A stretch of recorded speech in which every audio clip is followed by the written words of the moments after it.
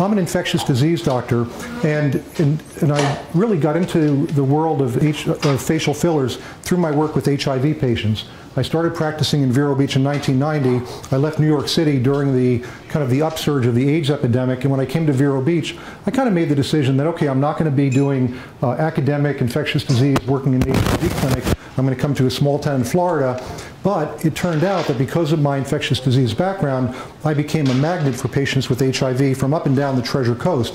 And really, I would say for the first 15 years of my practice, I was doing uh, HIV primary care, seeing patients in the hospital with infectious disease problems.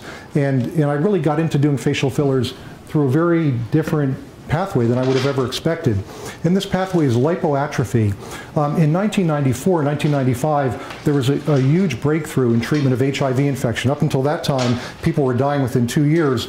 And when triple therapy came out, we started seeing, it, it was kind of like being around when penicillin was invented or, or discovered. That's the only analogy I can use because we went from seeing patients that were sick all the time in the hospital to recovering, getting their lives back, going back into, into real life. We talk about the Lazarus syndrome.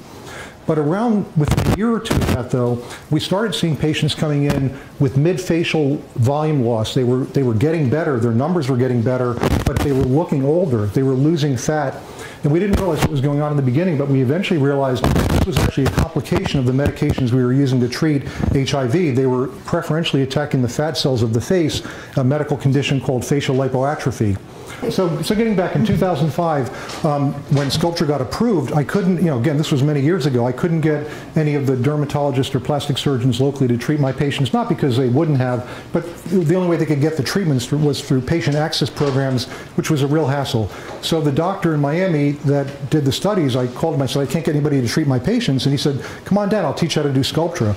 We all need spouses to keep, to keep us honest anyway, but I did go and uh, learned how to do Sculptra, then got involved doing uh, facial fillers using Radiesse and Sculptra. And I would say really for the first three years or so, I was just treating HIV patients with the combination of Radiesse and Sculptra. But then I started getting requests from family and friends, you know, Joe looks good, can you treat me?